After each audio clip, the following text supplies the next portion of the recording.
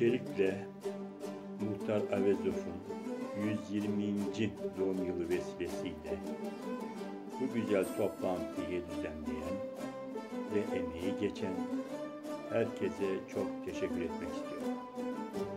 Başta Katiyat Derneği olmak üzere Türk Dünyası Belediyeler Birliği, Zeytinburnu Belediyesi'ne ve Kazakistan İstanbul Başkonsolosluğu'na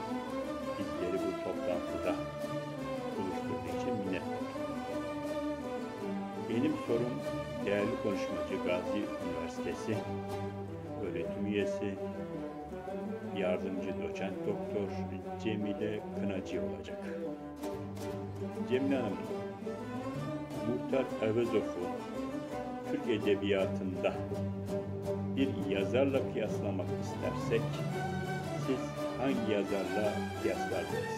Çok teşekkür ediyorum. benzer dediğimizde gerçekten Türk Edebiyatı'nda ben de ona bir karşılık e, kime benzeri bul- bulamadım. E, Gerçekten hani kim olabilir, onun karşılığında kim olabilir? E, sosyal meseleleri de çünkü bakıyoruz sosyal meseleleri de işlediği eserleri var. Muhtar Avezoğlu'nun. İşte e, mesela kitabımda kullandığım Bay Bişe Tokal adlı bir eseri var. Bu eserde tamamıyla e, kendisi kadın sorunlarını ele almış. E, o, o perspektiften bakmış. Sonra Kenesarı e, ile ilgili bir e, tiyatrosunu görüyoruz. Bu tiyatroda tamamen milli bir e, tarafının olduğunu görüyoruz. Daha çok alaşçı özelliğine öne çıktığını görüyoruz.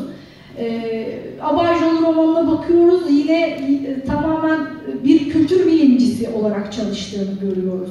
E, orada artık e, bir yazardan öte e, tarafı ortaya çıkıyor onun. Artık mantalite çalışması yapmış. Yani bir sosyolog gibi çalışmış, bir etnograf gibi çalışmış. Pek çok yönü ortaya çıkmış. Dolayısıyla ben gerçekten Türk Edebiyatı Edebiyat araştırmacısı, üniversitede Edebiyat ders vermiş. Evet, evet. Evet. Yani e, halk bilimci, e, Abayyıl romanına baktığımızda pek çok o, şey orada pek çok özelliğini onu görüyoruz.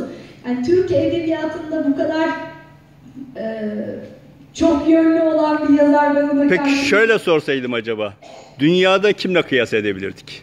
dünyada. Bilmem. Bence şey yeri yeri ayrı. Yani Muhtar Avezoğlu'nu ben ayrı değerlendiriyorum. Ee, zaten artık dünyanın bir şahsiyeti oldu. O Kazakların değil, e, dünyanın, e, bütün ulusların e, edebiyatçısı olmuş bir şahsiyettir dedi. O yüzden ben onu kimseyle mukayese etmiyorum, ayrı tutuyorum. Kendi ö- özgeçe, özgeçe bir yerde o. Onun ornu başka. Rahmet.